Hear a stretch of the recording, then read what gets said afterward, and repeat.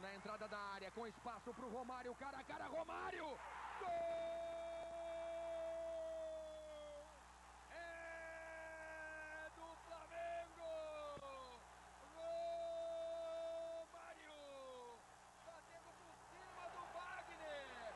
O goleiro do Botafogo nem ergueu o braço! Romário! O Flamengo empata! Romário!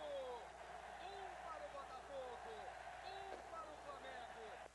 Passe na fogueira para o Souza, ganha Márcio Costa. Bola dividida.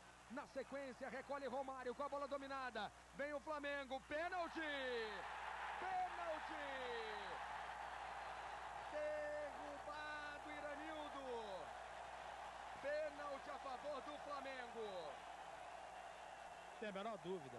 A bola tinha sido tocada e ele tocou no jogador do Flamengo. Romário contra Wagner. Partiu Romário! Gol!